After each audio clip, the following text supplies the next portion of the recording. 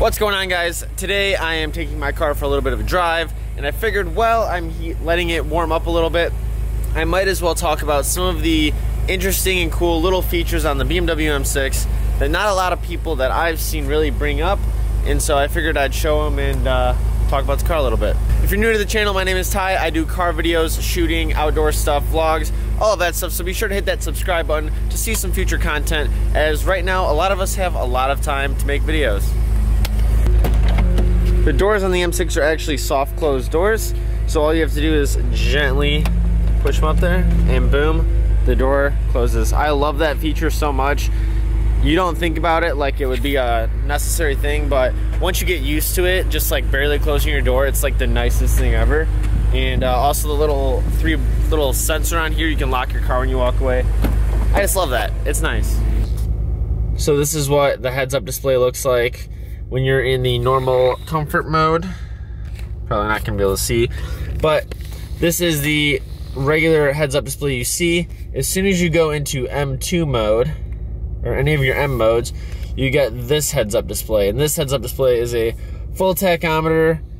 Uh, you have your speed, you have the speed limit that you should be doing, should be doing, and uh, shift lights. So that's the tach, that uh, middle one.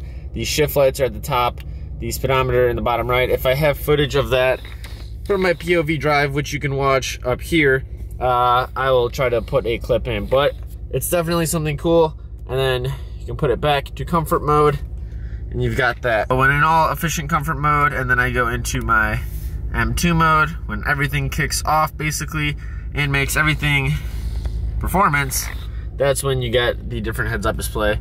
And uh, yeah, again, another cool little feature on the M6. You can also go into the settings and change where this sits in terms of height and uh, I don't think about distance, but I think uh, position of the actual screen.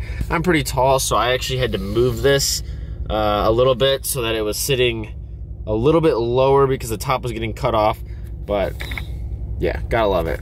Another thing on the M6 that can be pretty cool, I know it's always shown, but when you turn on your audio system, that center speaker pops up.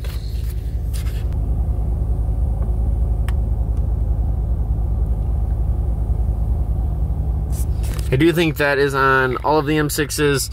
My car's got the Bang & Olufsen sound system, so I don't think it's specific just to that package. I think that'll be on all of them. But again, just a little quirk in the car that's uh, something extra that BMW thought about. So I thought it was worth mentioning. Another cool thing that I've picked up on in the M6 is when you go into reverse, do that, and you've got your backup camera up here. Let me see, boom, like that. Got your reverse camera, you've got your lights, so that's gonna change as you turn the steering wheel. And then you can click on the top one and actually you get full 360 camera, which is definitely a nice feature to have. So I can go back to regular camera. You can change the brightness and the contrast. You can turn the lines on and off.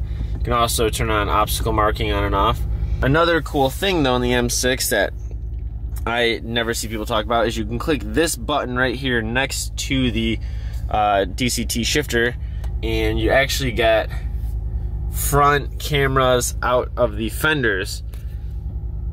This can be super helpful when you're in a parking garage, pulling out of a parking space in a tight parking lot, stuff like that.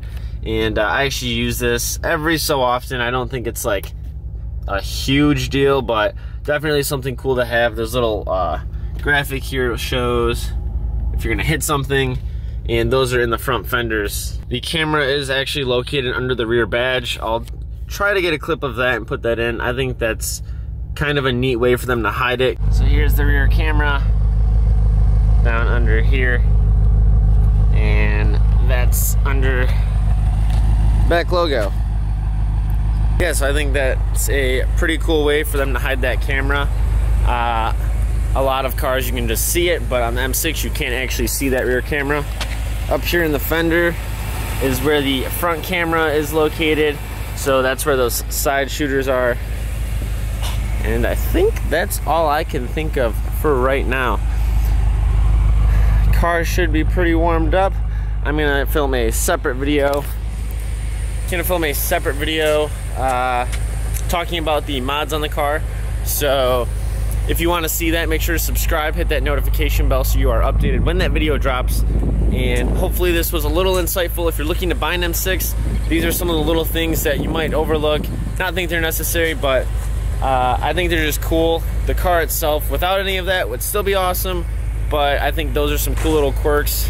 Not necessarily quirks, but tech and gadgets on the car that make it a little bit different than most of the cars you're gonna find. With all that being said, a lot of talking, a lot of little video. As I said, hit that subscribe button and that notification bell. I've got some more videos coming out, and I'll see you guys next time.